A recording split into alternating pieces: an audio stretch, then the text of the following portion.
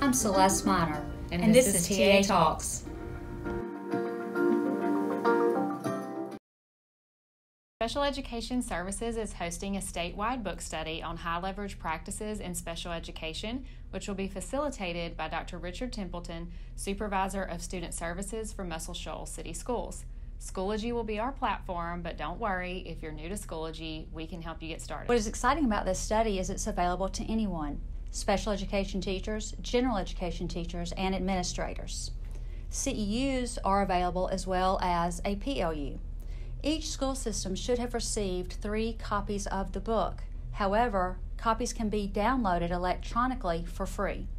Listen to Dr. Templeton explain more about the study. Hello, and welcome to High Leverage Practices in Special Education, a book study that allows special education teachers, as well as their general education teacher counterparts, an opportunity to earn a CEU it also provides special education and general education administrators an opportunity to earn a PLU. Now, we've known for many years that there are certain practices in special education that have a positive impact on students with disabilities.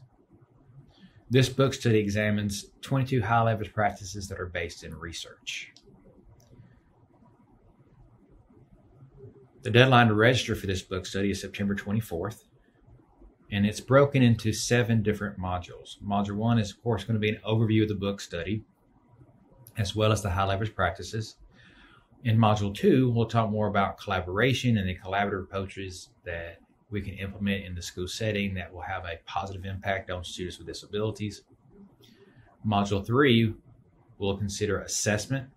How do we evaluate, analyze, and apply assessment data to impact students? to drive the instructional approaches that we use with students, to improve the potential outcomes for those students. In Module 4, we'll look at the social, emotional, and behavioral components of education and best practices, high leverage uh, practices that can be implemented to address this area.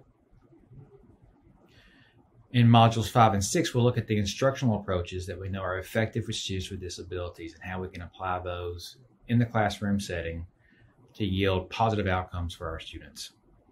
And of course, Module 7 draws conclusions for this study and focuses on next steps for participants.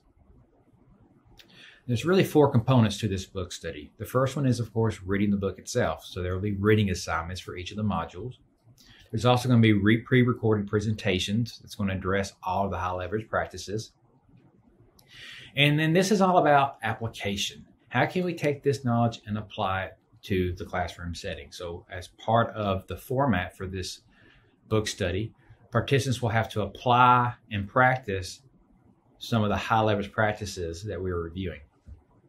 And then at the end of the day, we'll have to do a short reflection activity that's going to focus on the high leverage practices, how we've implemented them, what we've learned from them, and then, of course, next steps. A PDF, a PDF version of high leverage practices in special education can be obtained at the CEEDAR Center's website for free. Additional resources are available from the Council for Exceptional Children. There's specifically a website, www.highleveragepractices.org, that has some additional resources for educators.